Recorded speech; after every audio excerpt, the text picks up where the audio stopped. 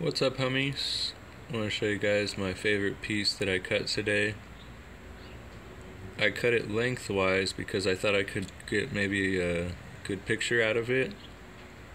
And sure enough, I got the rhyolite for the dirt at the bottom, common opal at the top for the sky, and even a little bit of crushed up common opal and rhyolite mixed together getting compressed underneath the rhyolite there. So cool that I got that. I couldn't believe it. I felt so smart when I cut it open. I first started cutting at it and I was like, and I just cut, cutting at it for a gemstone on the side.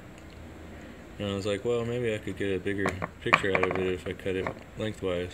So I'm glad I didn't go too far before I got that idea. It still looks cool like that too. Having those corners exposed.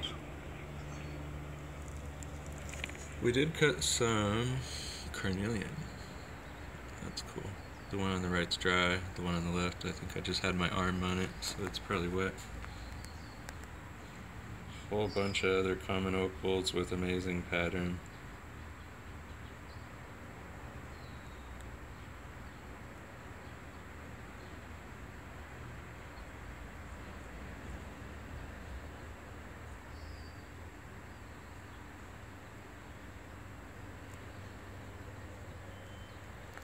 So it shouldn't be in the mix. That's from Acton. Acton has really fine material that looks like it's been cut, even if it hasn't. Some more of those rhyolites floating around in there. Is this one cut? Cool patterns.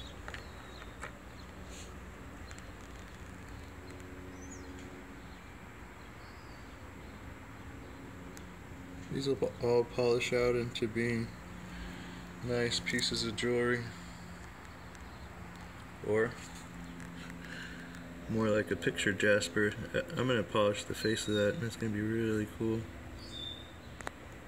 What we call it a picture rhyolite opal.